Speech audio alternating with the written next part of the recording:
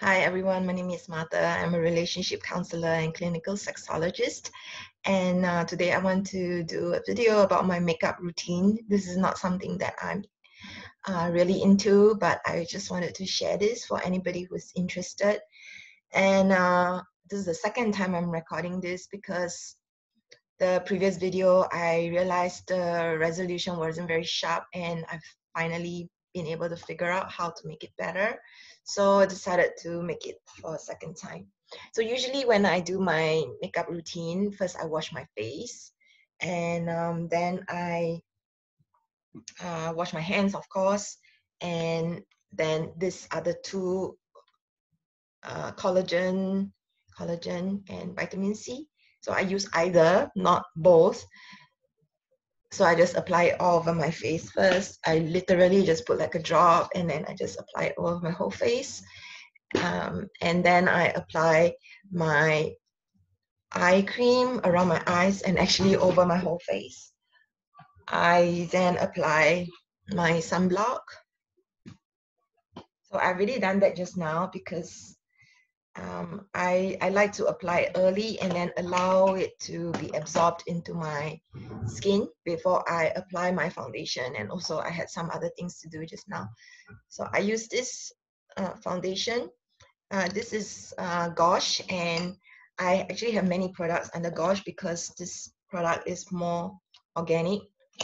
And so I literally just apply two drops first. I put it all over my face. I dot it and then I just very lightly, very and quickly, I just spread it over my face very, very lightly. So it's quick and light touches. I don't want it to actually, uh, I don't want to like rub, you know, and uh, push it into my skin. I was told that this is this is not good. So it should just kind of sit on your skin. And the way you apply actually makes a difference you know there's this saying uh, in my in my work as well it's not what you do it's also the way you do it so I'm I'm doing it really quickly because I'm actually also in a bit of a hurry. I have a call in 30 minutes and I have other things to do. So I might reapply. I have a mirror here. so that's why I'm looking into this because um, everything here is reversed. So I might just put a second layer over the parts that need more coverage. But I don't really like to have uh, thick makeup and I also have very sensitive skin. So I can't, I don't like a lot of product on my skin. I might apply, today I'm doing filming, so I'm putting more coverage. Even with this uh, quarantine lockdown in Singapore, I'm still quite busy. I have online calls and things going on. So so very light, very light. Try to be gentle with yourself. I'm I'm rushing a little bit because I have many things to do. So whenever I put on my makeup, I have work. so I decided to call it my game face. So it kind of starts to prepare me mentally for work as well. And I just want to be a little bit more presentable for my clients. So right now you can see like my face is probably a little bit fairer than the rest of my rest of my face. So don't worry too much about it because like I'm talking to myself, not not like for you. Like through the day it gets oxidized. So it can look fairer right now but actually through the day my my face does become quite oily and then I'll touch up. I use the powder to absorb my skin. So a lot of these tips I actually learned from my friend Yukiko she's a makeup artist. And after one session with her like my makeup techniques became like 100% better so I know I'm a bit rough. Actually, you need to be really gentle. So she tells me that I'm too rough with my skin. Okay, after that, um, it's like it's like a painting, isn't it? You make sure the palette is clean and ready. And uh, then I have this makeup brush. Actually, most of my products I get from this place in Singapore called Sasa, and it's kind it's closing down. And uh, so I don't know, like in future, I will probably get these products on I iHerb. This is my makeup brush and this is the palette that I I use. So I'll use the blush and then I use the side for the highlight on the like the shadow on the side of the face so that there's more definition and it just looks more three-dimensional. So at the moment, like I don't really blend. And I could like use more brushes. But for the rest of rest of the face I actually use my hand. I use this part which is the highlighter. And then I highlight the bridge of my face bridge of my nose sorry. Uh, and then under my eyeballs just to have a bit of a highlight under my eyes. So before that I didn't know anything I just knew like foundation and blusher and um, see more, more definition already. And then at the side of my uh, eyeballs where it curves, I will apply here, I'll apply some shadow. So I look, my nose looks sharper. So at this moment, I don't really apply uh, my powder yet. So my powder is also in a way like a blender. So then I apply my my eyebrow. So short and quick. And it should touch touch this side. Because my eyebrows are very faint.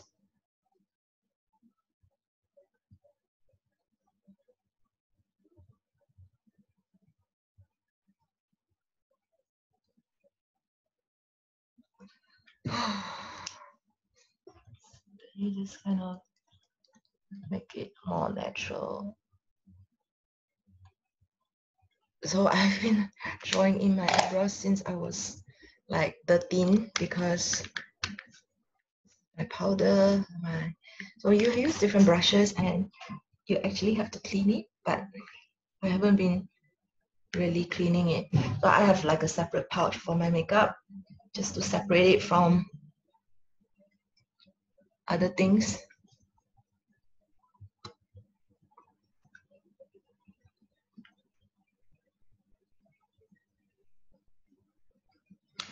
Uh, and then I might apply another layer of blusher because you see after I apply the powder it kind of blends.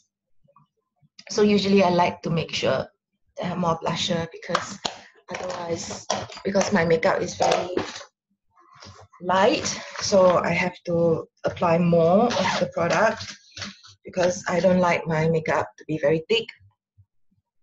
This is my lip balm. I don't use lip gloss. I don't really like the glossy feeling. This is my red lipstick also from Gosh. This is my mirror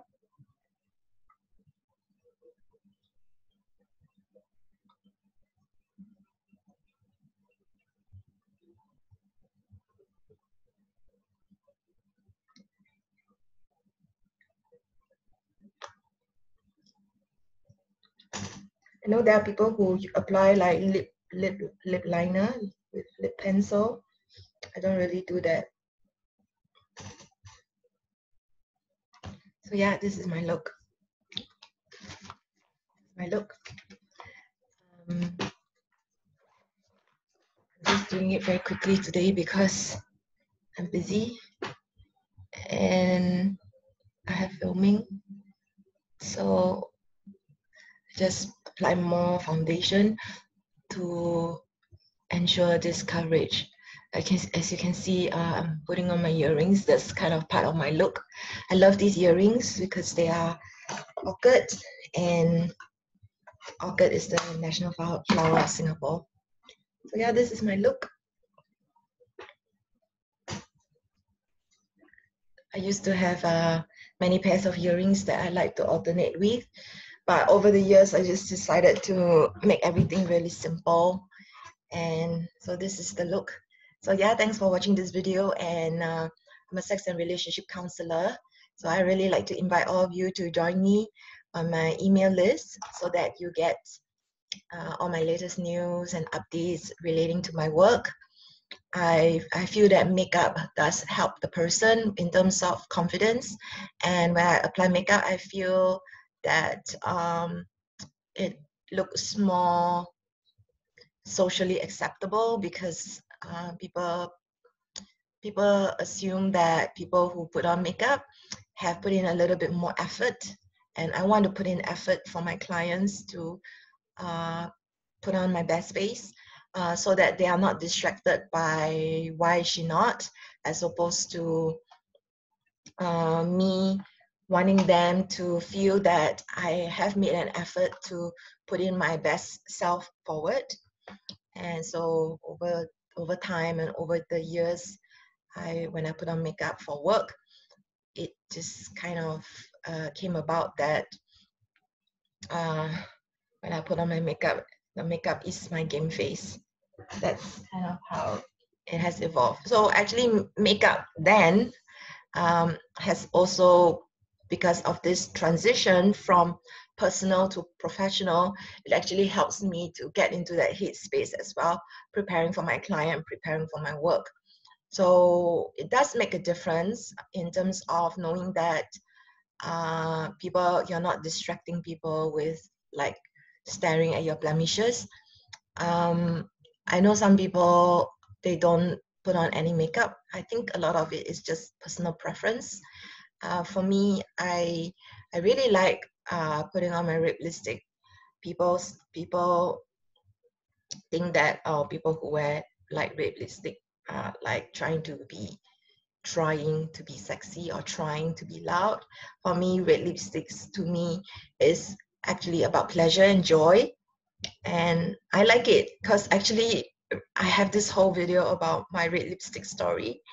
Um, previously, every single time I go for a makeover or have makeup by a professional, they always try to downplay my lips. And I like my lips. I, I like the red, the color red on my lips. And so I had to explore for myself what is it that I really like, separate from what is the right way of makeup artists um, because like if you have thick lips you don't want to draw attention to it so that your whole face looks more balanced. I understand that. However what do i like? What do i like? Um, so i realized that i like red lipstick. And it sounds cliche and everything. I really had to go in and explore what kind of makeup i like. And uh, this kind of makeup feels natural and comfortable for me because it is going to last for the whole day. And so it is important that you find something that is sustainable, that is quick uh, for you. So that is the extent of the makeup that I apply. And I suppose for some occasions where uh, if I'm on stage, um, I may need to have like more learn more advanced techniques. But this is pretty much the look that I have and uh, I think it comes across as pretty obvious that I don't apply too much of it. And you can see it didn't take a long time. So yeah, this is Martha. Thanks for watching this video and please subscribe to my mailing list. That's eroscoaching.com.